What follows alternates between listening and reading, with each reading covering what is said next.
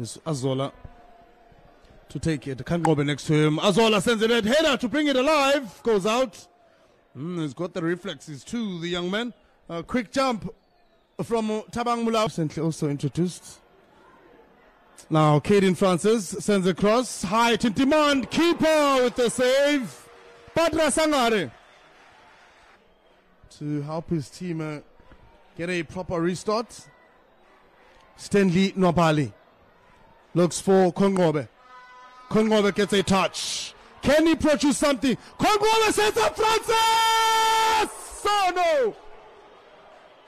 Denied by the uprights.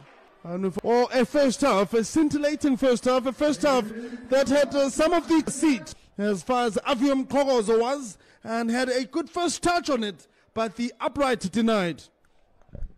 Now the second half is about to start, and Sekhukhune United are set to uh, send a for the spot uh, to play CAF Championships.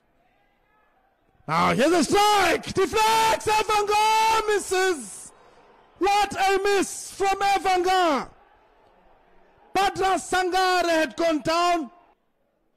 As well as uh, Polokwane City have uh, taken the lead against. Uh, now she cross. Now touch. Ooh, Ohizu.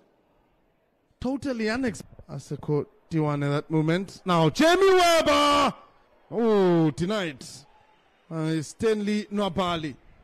Ohizu's in the box. Mube's also in the box. Now here's a movement. Ooh, nice delay.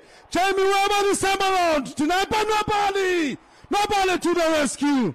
Ooh, la la. These are the moments that Avium Korozo sends it away. Mkiza with the response. Mukwana making the run. Cross looking for Ohizu. Now a penalty kick has been given. Yellow card served to Stanley Nwabali. That movement from Ohizu. Now, Cardoso has all the responsibilities on his hands. Got the support. Cardoso denied by Nwabali. Denies Daniel Cardoso. The ball still in the heated areas. Mkize has got the option to go wide. Finds Mkabela. Kabela sends a cross. Header not good enough. Matlati receives. Pressure's mounting. Bochenpool clears out. Likes to find Kaylin Francis. Under threat says Kaylin Francis. Breaks away! Gets the opening goal for Sekhukhune United. Out of nowhere. He finds himself at the right place and wins the ball so well. Tabang Mulawa has been uh, very much involved in it, but not really getting it right. Well, uh, only seconds remaining. Oh, good pass. Musi. Rather, here's a chance! Misses! And uh, be on the lead.